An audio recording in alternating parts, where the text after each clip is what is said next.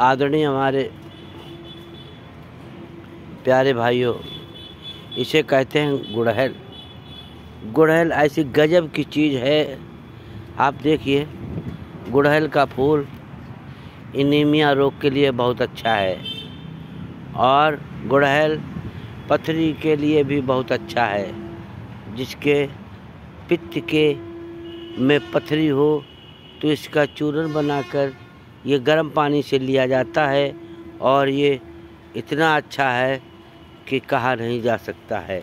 ऐसे देखिए गुड़हल के फूल। इनको इकट्ठे कर लीजिए और ये पथरी के काम में आते हैं इनीमिया के काम में आते हैं। हमारे यहाँ पर बड़ी प्रकार, देखिए, ये छोटी दूधी है। ये देखो छोटी दूधी है। इसको, देखो ये सब छोटी, इसको तोड़ेंगे तो इसमें सफ़ेद सफ़ेद दूध सा निकलेगा। देखिए, ये दूध निकल रहा है। ये दुधिया बहुत गजब की काम हो।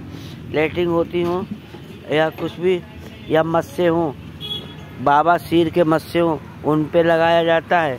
लगाने से मस्से सूख के गिर जाते हैं। ऐसे हमारे गुरुओं का बताया हुआ ये नुस्खा है। आपको मैं बताता हूँ, देखिए, ये करंज लता है। इसको कहते हैं करंज लता ये बड़ी गजब की चीज़ है। डायबिटीज़ का नाश कर देती है। डायबिटीज़ को और अगर गुर्दे में पथरी हो किसी प्रकार की उसको भी निकाल देती है। देखिए अमरूद का पत, पेड़ खड़ा हुआ है।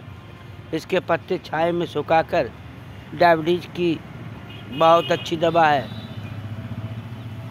और आप देखिए यहाँ पर तो हर तरह की जड़ी बूटियाँ लगी हुई हैं। देखिए, ये सूरजमुखी है। सूरजमुखी, देखिए, कितनी अच्छी लगी हुई है। इस, ये जड़ी बूटियों में बहुत लाभदायक है। देखिए, ये को मैंने आपको दूधी दिखाई थी, बहुत ही छोटी दूधी। अब देखिए, ये है बड़ी दूधी। देखिए, इसमें भी दूध देखो आ गया। ये देखो, दूध आ गया है। ऐसी बड़ी दूधी है। दोनों दूधियों का काम अपना अलग अलग है। आप देखिए, लीवर के लिए ये हमारा भूमि आमला है। हमारे भारतवर्ष में लाखों रुपए बर्बाद कर देते हैं लीवर में।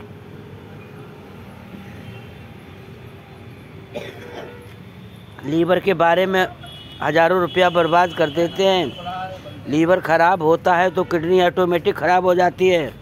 तो ये भूमि आमला जो है हमारा, ये बहुत अच्छा है। इस भूमि आमला को उबाल के पिया जाता है। लीवर सही, बिल्कुल एकदम नया हो जाता है। तो भाई लोगों, ऐसी मैं दवा बताते रहते हैं। आप लोग देखिए और ये जड़ी बूटियाँ यूज़ करिए। धन्यवाद। लाइक, कमेंट ज़रूर करना। अगर वीडियो अच्छी लगी हो, जय भारत माता की जय हो।